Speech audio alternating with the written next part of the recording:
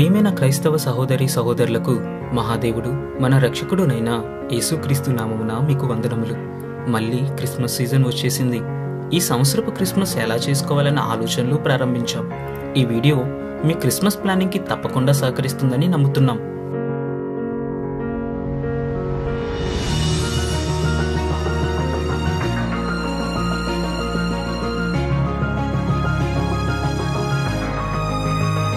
ఇంచుమించు తొంభై శాతం క్రైస్తవులు క్రిస్మస్ చేస్తున్నారు. అసలు క్రిస్మస్ ఎందుకు వచ్చింది దానిని ఎవరు ప్రారంభించారు? మనం క్రిస్మస్ చేయవచ్చా? మొదలైన అంశాల్ని చర్చించడం వలన అంతగా ప్రయోజనం లేదు. ఎందుకంటే సంవత్సరాల తరబడి మనం దీనిని నిర్వహిస్తున్నాం. అయితే ఈ క్రిస్మస్ విషయంలో మనం చర్చించవలసిన ఆలోచించవలసిన రెండు ముఖ్యమైన అంశాలున్నాయి.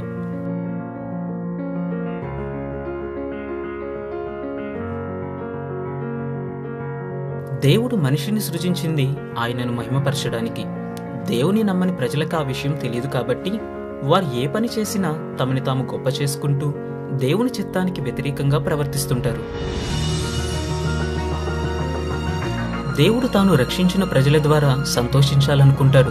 రక్షించబడిన ప్రజలకి దేవుని ఇష్టాలేంటో తెలియదు కాబట్టి వారిని వారుగాని వారు ఇతరులు గాని సంతోషపరుచుకుంటూ తమ జీవితాన్ని గడుపుతారు. వారు దేవుణ్ణి దుఃఖపరుస్తున్నారన్న సంగతి వారికి తెలియదు మనమైతే దేవునిని ఎరిగిన ప్రజలం దేవుని ద్వారా రక్షణతో పాటు అనేక మేలుల్ని పొందుకున్నవారం మనం మాత్రం మన బ్రతుకు మూలంగా అయినా చావు మూలంగా అయినా మనం చేసే ప్రతి పని మూలంగానూ దేవునిని మహిమపరచవలసిన వారముగా సంతోషపరచవలసిన వారముగా ఉన్నాం. మనం అలా చేయకపోతే దేవుని ఆజ్ఞల్ని చిత్తాన్ని వ్యతిరేకించి పాపులుగా మిగిలి శిక్షార్హులమైపోతాం. మనం జరుపుకునే క్రిస్మస్ వలన మన ప్రభుకి ఒకవేళ మహిమకు బదులుగా అవమానాన్ని సంతోషానికి బదులుగా దుఃఖాన్ని కలిగిస్తున్నావేమో ఒకసారి ఆలోచిద్దాం. మనం కనుక తప్పు చేస్తుంటే సరిదిద్దుకోవడానికి ఇష్టపడదాం.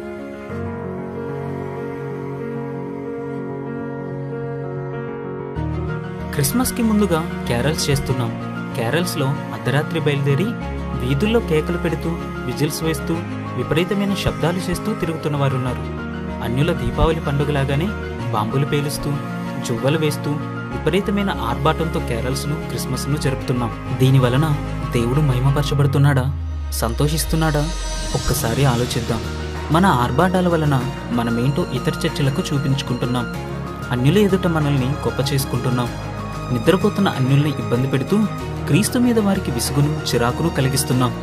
దీనిలో దేవునికి మహిమ ఉందంటారా? కేకలు గెంతులు వేస్తూ మనల్ని మనం సంతోషపరుచుకుంటున్నాం. అన్యుల ఊరేగింపులకి మన కేరల్స్కి పెద్దగా తేడా కనిపించడం లేదు. అసలు బాణాసంచాకు క్రైస్తవ్యానికి సంబంధం ఏంటి? అది పూర్తిగా మనుషులకు మహిమనిచ్చేది మనుషులకు సంతోషాన్నిచ్చేది. దేవుని ధనాన్ని ఇలా వృధా చేయడం మానేద్దాం. సువార్తకి కానీ క్రైస్తవుల్ని బలపరచడానికి కానీ ఈ అల్లరి ఆర్భాటం ఏమాత్రం ఉపయోగపడవు. వీటిని చూస్తూ దేవుడు సంతోషిస్తాడంటారా? ఆలోచించండి.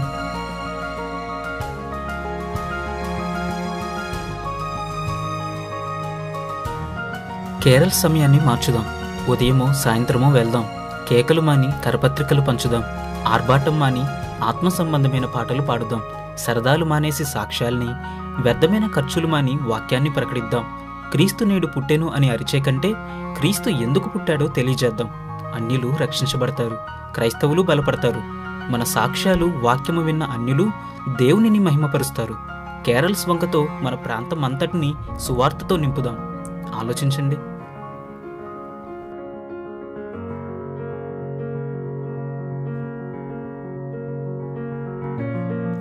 మన క్రిస్మస్ వేడుకల్లో స్కిట్లు వేస్తున్నాం. స్కిట్లలో ఎక్కువ శాతం జోకులు మేకప్లు మాత్రమే కనిపిస్తున్నాయి. కొందరైతే ద్వందార్థమైన జోకులు వాడుతూ దేవుని నామానికి అవమానాన్ని తెస్తున్నారు. మనం చేసే ఇలాంటి స్కిట్స్ వలన మనుషులకి సంతోషము మహిమ వస్తుంటే దేవునికి అవమానము దుఃఖము కలుగుతున్నాయి. రాక రాక క్రిస్మస్ కదా అని అన్నిలు మన మీటింగ్స్కి వస్తే జోకులేసి పంపించేస్తూ ఆ అవకాశాన్ని కూడా చేజార్చుకుంటున్నాం.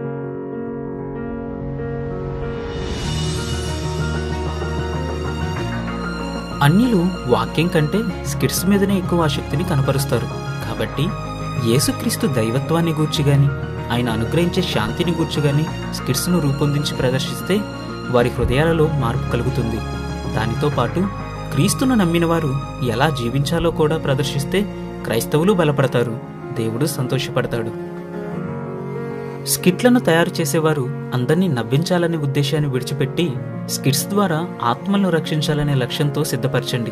క్రిస్మస్ అంటే అన్యులు తమ సంతోషం కోసం జరుపుకునే పండగ లాంటిది కాకూడదు. క్రీస్తును ప్రకటించడానికి అదొక గొప్ప అవకాశంగా అదొక సువార్త కూడికగా అదొక క్రైస్తవ ఉద్యమ సభగా నిర్వహించబడాలి.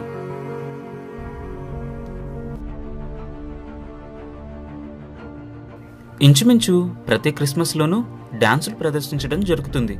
క్రిస్మస్ అంతటికి ఈ డాన్సులే ప్రాముఖ్యమైనవిగా ప్రధాన ఆకర్షణగా కూడా నిలుస్తున్నాయి. వీటి ద్వారా దేవునికి ఏమైనా మహిమ చెల్లుతుందా? ఇవి దేవుని సంతోషపరచడానికి జరుగుతున్నాయా? అనే విషయాల్ని ఆలోచించక తప్పదు. ఎందుకంటే క్రైస్తవులమైన మనము ఏం చేసినా అది దేవుని ఆజ్ఞల్ని అతిక్రమించకూడదు. బైబిల్లో నాట్యంతో దేవుణ్ణి ఆరాధించమని వ్రాయబడింది. అయితే ఎలాంటి నాట్యంతో ఆరాధించాలి? నాట్యాలు రెండు రకాలు. మందసాన్ని తీసుకొచ్చేటప్పుడు దావీదు మనుషులని సంతోషపరచడానికి కానీ వారి మెప్పును పొందడానికి కానీ కాక దేవునిలో పరవశించి నాట్యం చేస్తూ ఆరాధించాడు. ఇది ఆత్మ సంబంధమైన వాక్యానుసారమైన నాట్యం. ఇది జరిగిన చాలా కాలానికి హేరోదియ కుమార్తె హేరోదు ఎదురుగా నాట్యం చేసింది. హేరోదును సంతోషపరచడానికి తద్వారా హేరోదు నుండి ఏదో పొందడానికి ఆమె నాట్యం చేసింది. ఇది శరీర సంబంధమైన నాట్యం. దావీదు నాట్యం దేవునిని ఆరాధించేదైతే ఈమె నాట్యం మనుషుల్ని సంతోషపరిచేది. బైబిల్లోని దేవుని భక్తులు నాట్యంతో దేవుని ఆరాధించారు. నాట్యాన్ని వారు దేవుని స్తుతించడానికి మాత్రమే వాడారు. అలాగే బైబిల్లోని విగ్రహారాధికులు కూడా నాట్యం చేశారు. వారు తమలో తాము సంతోషించడానికి లేక ఇతరులు మెప్పించి వారి నుండి ఏదో పొందడానికి చేశారు. భక్తుల నాట్యం మనిషి దేవుని కోసం చేసింది. భక్తిహీనుల నాట్యం మనుషుల కోసం మనుషులు చేసింది. ఈ రెండు ఒకదానికొకటి వ్యతిరేకమైనవి.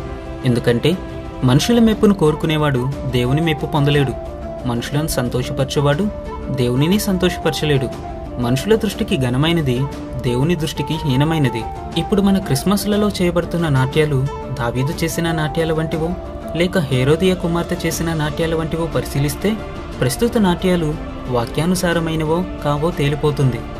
శరీరాన్ని కదిలించే సంగీతం ఉన్న పాటను ఎంచుకొని ఆ సంగీతానికి ఏ స్టెప్లు వేస్తే చూసేవారికి నచ్చుతుందో ఆలోచించుకొని అలాంటి స్టెప్లను ప్రాక్టీస్ చేసి చూపరులకి ఆకర్షణీయంగా కనిపించే వస్త్రాలు వేసుకుని అందరినీ మెప్పించడానికి డాన్స్ చేస్తున్నారు. చూసేవారు కూడా ఆ సంగీతాన్ని బట్టల్ని స్టెప్పుల్ని చూస్తూ చప్పట్లు కొడుతూ విజిల్స్ వేస్తూ సంతోషిస్తున్నారు. ఇది బైబిల్ ప్రోత్సహిస్తున్న దావీదు నాట్యమా? లేక బైబిల్ ఖండిస్తున్న హేరోదియ కుమార్తె నాట్యమా? పరవశించి చేసే నాట్యం ప్రాక్టీస్ చేసి చేస్తున్న నాట్యం ఒకటేనంటారా? నాట్యం చేసేవారు మనుషుల్ని సంతోషపరచడానికి చేస్తున్నారు. నాట్యం చూసేవారు తమ సంతోషం కోసం చూస్తున్నారు. ఇందులో దేవుణ్ణి ఆరాధించేవారు ఎవరూ లేరు. మనుషుల్ని సంతోషపరిచే ఈ నాట్యాలు దేవుని దృష్టికి అసహ్యమైనవి ఆయనను బాధించేవి అనడంలో ఏ సందేహం లేదు. ఈ నాట్యాల వలన చేసేవారికి చూసేవారికి సమయం వ్యర్థం తప్ప వీటి వలన ఒక్క అన్యుడు మార్చబడడు క్రైస్తవుడు బలపడడు. వ్యర్థమైన వాటిని అనుసరించవద్దని బైబిల్ చెబుతుంది. ఈ డాన్సుల పేరుతో యవనస్తులు ఎంతో విలువైన సమయాన్ని రిహార్సల్స్ కోసం వృధా చేస్తున్నారు. సమయాన్ని వ్యర్థం చేయడం అజ్ఞానం అని బైబిల్ చెబుతుంది. కొత్త స్టెప్పుల కోసం ఎందరో సినిమాలను డాన్స్ ప్రోగ్రాంలను చూస్తూ నేత్రాశ గలవారిగా అయిపోతున్నారు. వారికి తెలియకుండానే సినిమాలకి దగ్గరైపోతున్నారు. అమ్మాయిలకి ఆకర్షణీయమైన దుస్తులు వేసి స్టేజ్లు ఎక్కించి డాన్సులు చేయిస్తున్నారు. వీరు నాట్యం చేస్తుంటే చూసేవారిలో ఎందరో మోహపు చూపులతో వ్యభిచారంలో చిక్కుకుపోతున్నారు. దేవుడు తన రక్తంతో కొనుక్కున్న ఈ ఆడపిల్లల్ని ఒక ఎంటర్టైన్మెంట్ వస్తువులుగా ఉపయోగించుకుంటూ దేవుణ్ణి బాధపరుస్తున్నారు. ఈ డ్యాన్సులు చూస్తూ కేకలు విజిల్స్ వేస్తూ అనేకులు పోకిరి చేష్టలు చేస్తున్నారు. అల్లరితో కూడిన ఆటపాటలంటే ఇవి కాదంటారా? ప్రభునందు సంతోషించమని వాక్యం ఆజ్ఞాపిస్తుంటే మనం మనుషులు ఎందు సంతోషిస్తున్నాం. ఈ డ్యాన్సుల వలన క్రైస్తవులు మరింత శరీర సంబంధులైపోతున్నారు. అన్యుల్ని మీటింగ్స్కి ఆకర్షించడానికి ప్రారంభించిన ఈ డ్యాన్సులు ఇప్పుడు క్రైస్తవుల్ని పాడు చేస్తున్నాయి. అయినా ఆకర్షించాల్సింది ప్రభువు కానీ లోక సంబంధమైన అంశాలు కాదు. అనేక నష్టాలకు కారణమైన ఈ డాన్సులను మన క్రిస్మస్ నుండి పూర్తిగా తొలగించడమే ఉత్తమం.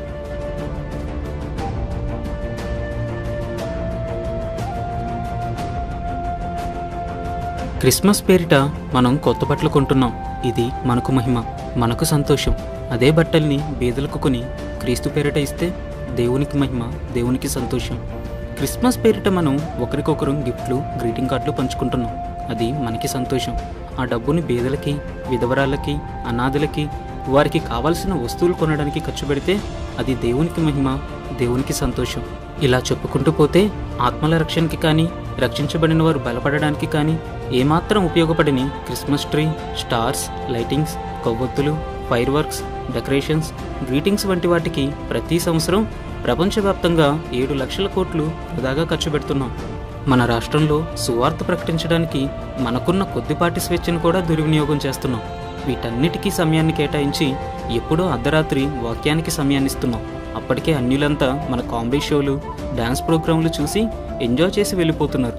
చివరికి క్రీస్తును నమ్ముకోండి అంటూ క్రైస్తవులకి చెబుతున్నాం. శరీర సంబంధమైన వాటికి సమయం ఇస్తూ మనుషుల్ని మార్చగల వాక్యాన్ని నిర్లక్ష్యం చేస్తున్నాం. సువార్తే ధ్యేయంగా ఉండాల్సిన క్రిస్మస్ చివరికి అన్యులు క్రైస్తవులు సంతోషపడే ఒక పండుగగా దేవుని నామానికి అవమానాన్ని కలిగిస్తూ ఆయనను బాధపరిచే ఒక సందర్భంగా మిగిలిపోతుంది. సువార్తను ప్రకటిస్తూ కేరల్స్ క్రీస్తును ఆరాధిస్తూ పాటలు ఆత్మీయ సత్యాలు నేర్పుతూ స్కిట్లు శక్తివంతమైన వాక్యపరిచర్య.